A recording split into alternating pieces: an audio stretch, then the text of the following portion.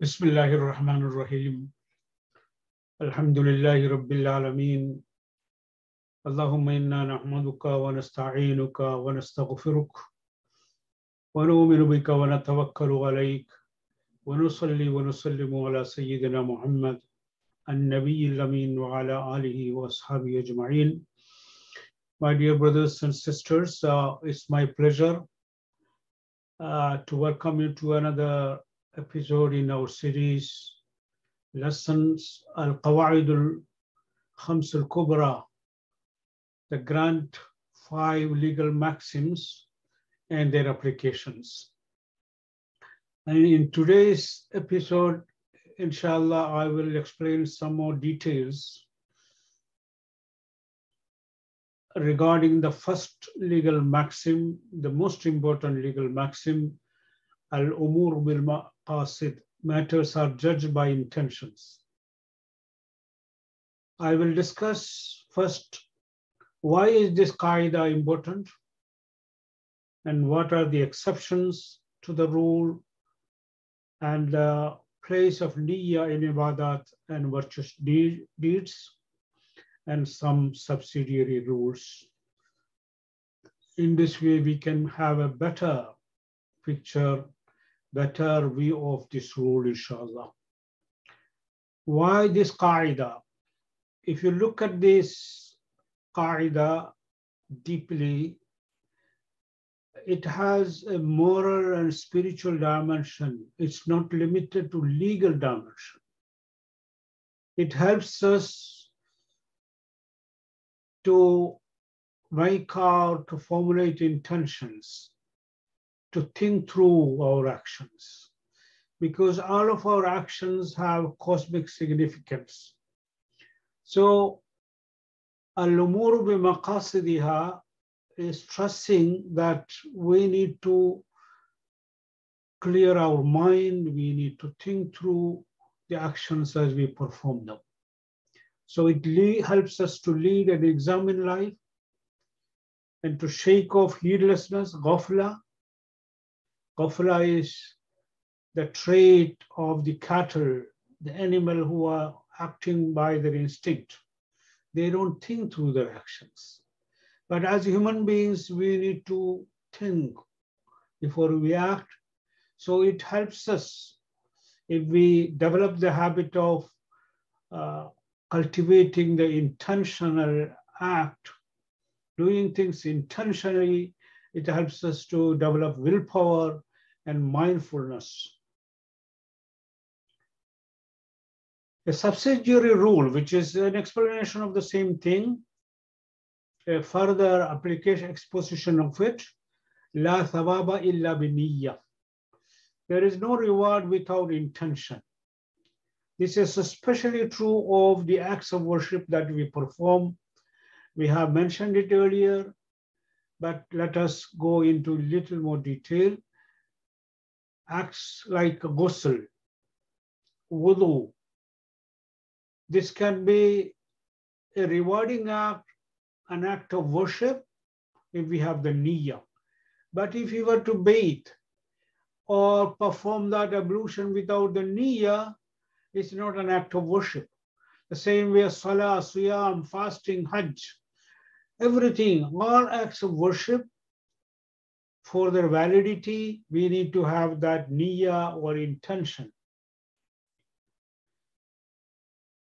In other words, acts for their acceptance must be done solely for the sake of Allah subhanahu wa ta'ala. We read in Quran verse 8, Surah 18, verse 110. فمن كان يرجو لقاء ربه فليعمل عملا صالحا وَلَا يُشْرِكُ بِعِبَادَةِ رَبِّهِ أَحْدًا So whoever hopes to meet his Lord, let him perform righteous deeds and make no one a partner unto his lordship, unto his Lord in worship. Fudayl ibn Iyad, one of the pious sages and saints of the early generation said, soundness, salahul amal, is dependent on two conditions or based on two pillars. Number one, the act we perform must be, in the first place, sanctioned, should be allowed approved by Allah subhanahu wa ta'ala.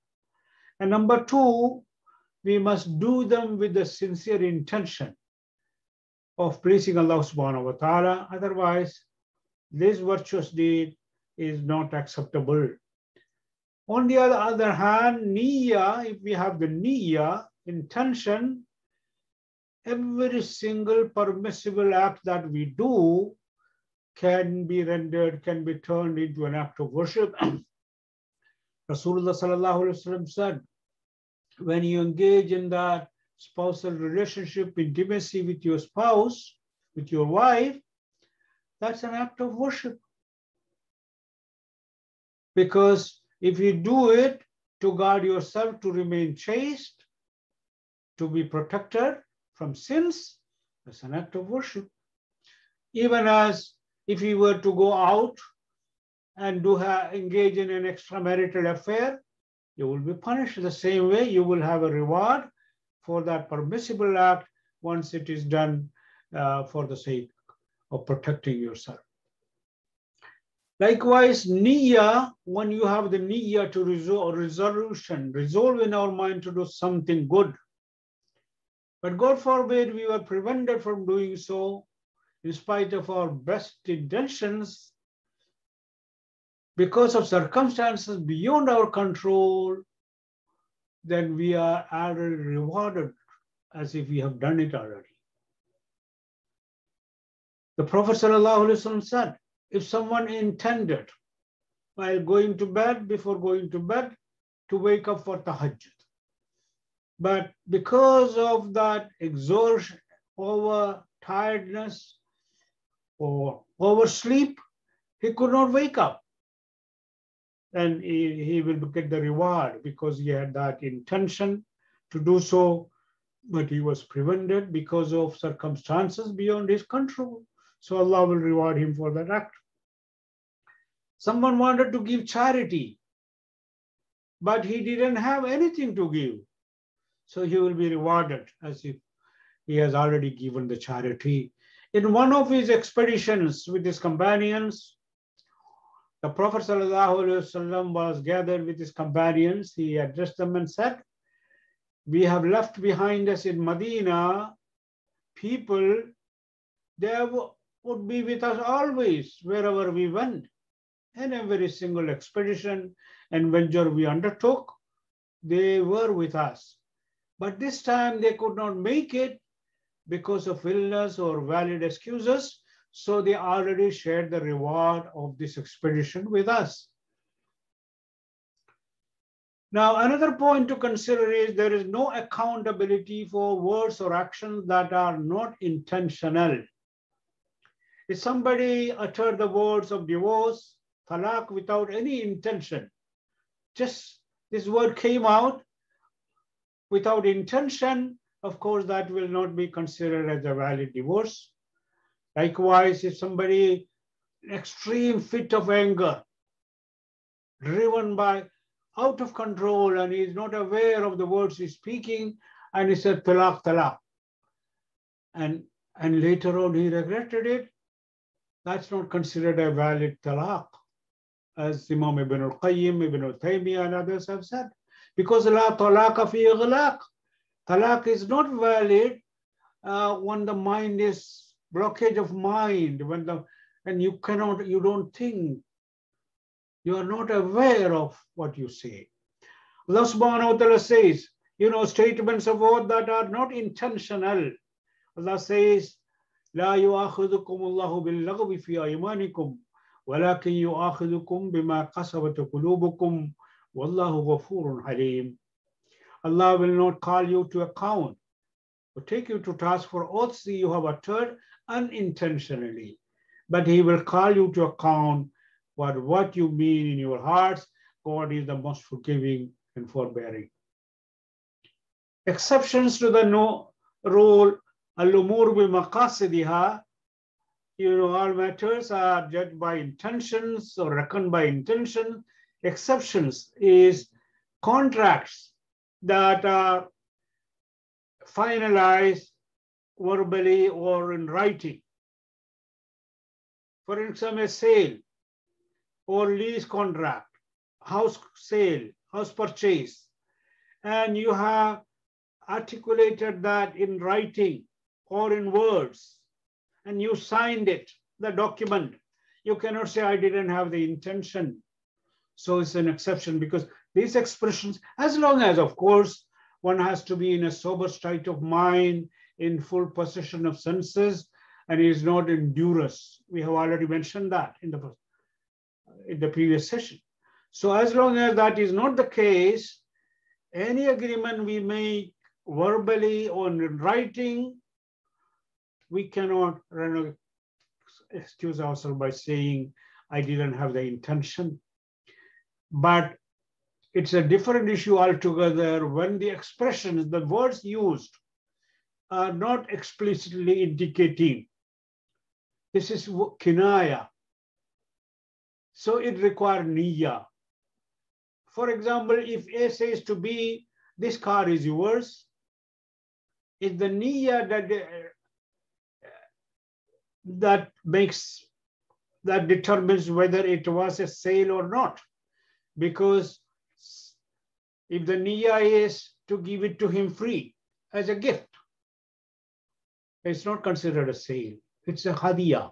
So the niya make that distinction whether it was a sale or a gift. Likewise, a person utters, says to his wife, you are free. It's the niya that decides whether it considered a divorce if he says, no, I shouldn't be in a divorce, I meant to say that you are free to go home, you are free to visit your parents, whatever. So Niya makes the distinction crucial. Niya, once again, is critical in deciding the cases like that. You know, some, sometimes people put out a jar to collect rainwater. And somebody came and, you know, you know, threw it out. If the, his niya was that he put it out to collect rainwater, and anyone who destroys that water, who takes away, who does everything to interfere with that water, he should be, he is liable. He should pay if he, if, if, if it goes to the court or if, if the person wants a compensation, he need to compensate for him. Likewise, if a person pick up uh, lost articles, you're walking and you found something, a wallet or something with money, and you picked it up, and his intention was to keep it in trust for that person. Whenever he arrives, he comes to claim it, he will surrender it to him. If the intention while he, he picked up the act was to give it to the rightful owner, then suppose, God forbid, it is stolen or it is destroyed by fire, he is not liable. If, on the other hand, a person picked it up and he thought, okay, now I, I, I can use it, it's mine. And then owner comes and asks for it, he is liable. So the intention to make that different distinction. Another subsidiary rule, whoever uh, من استعجل الشيء قبل أوانه عوقب بحرمانه. Whoever has to get something before its due time, he will be deprived of its benefit. An example is, if God forbids, a son kills his father to claim the inheritance, then the, that son will be disqualified as a heir. Here, he will not be receiving any share from that inheritance. Man istajala shay'a qabla awanihi uqiba bihirmanihi. Whoever hastens to get something before its due time, he would be deprived of its benefit as a penalty. So these are some of the explanations. I hope it would be in this way, this we have a better understanding of that grand legal maxim al-umuru bimaqasidiha. Inshallah, in the coming sessions, we will visit some of the other legal maxims, inshallah. May Allah subhanahu wa ta'ala help us to benefit uh, from uh, proper understanding and knowledge of the religion to enhance our understanding and practice of it. أقول قولي هذا وأستغفر الله لي ولكم والسلام عليكم ورحمة الله وبركاته.